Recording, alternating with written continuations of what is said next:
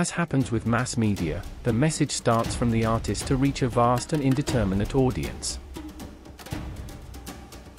The emotional resonance of artistic language shakes us. The artwork involves us, and questions us. The message needs us to be deciphered. To build the meaning, we have to understand it, to interpret it, to enter into the picture and let the picture enter into us. To read Guernica like a newspaper means to answer the famous 5W of an article. What? Where? When? Who? Why? A large canvas, about 8 meters long, by 3.5 meters high, painted by Pablo Picasso. We are in the north of Spain, in the Basque Country. April 26, 1937. It is already evening when the planes of the Condor Legion of the German Luftwaffe Air Force take off. In the sky above Guernica, planes drop tons of bombs that raze the city. The artwork represents the effect on the civilian population of this first ferocious and devastating aerial bombardment in the history of Europe. Picasso wants to tell the tragedy that has befallen the city, the desperation, and the horror. He wants to shout anger and outrage to the world. He wants to write in large letters a painful warning to humanity.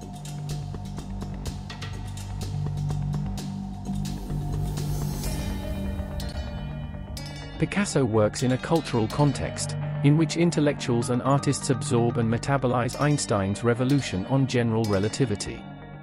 This is not only a scientific, but a philosophical revolution. Picasso simultaneously assumes different points of view, which relativize the perception of sensible reality. He breaks down the scene and recomposes it, using different perspectives. Picasso is not limited just to the sense of sight, the figures seem to be the visual representation of a cry, so that the observer has the sensation of seeing the desperate screams of the citizens under the bombs the entire composition seems to shout, rather than tell, the horror of that news story. The artist mixes, with his paintbrush, anger and indignation. The chromatic palette based on black and white reproduces the colors of a newspaper page, where the article does not limit just to describing, but expresses the protest against the war, The torch of truth illuminates the scene so that the world can know it.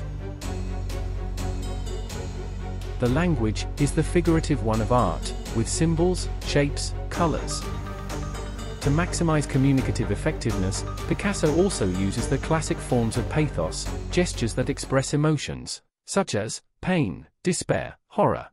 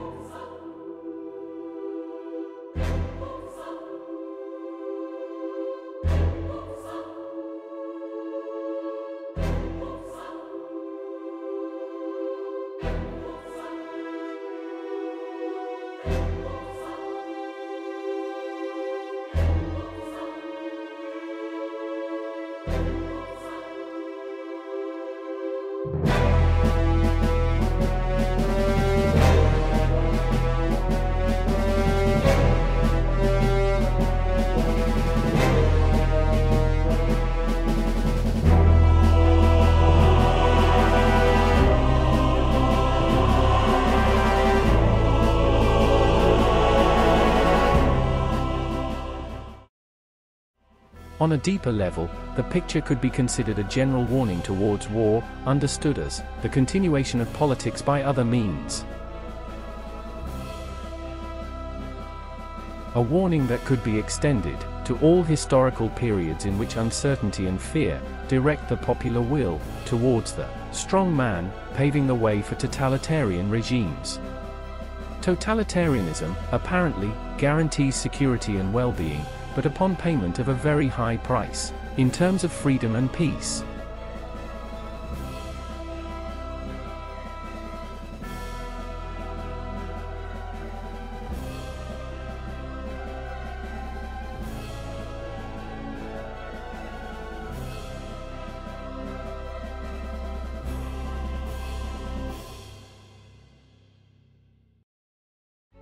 Picasso doesn't just paint, he draws lines that are like scratches. The fibers of the canvas emerge, like exposed nerves, through the lacerated skin of the painting.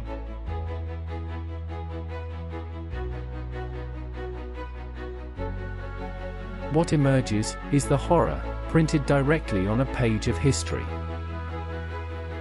the expressive power overwhelms the observer, like the explosion of a bomb.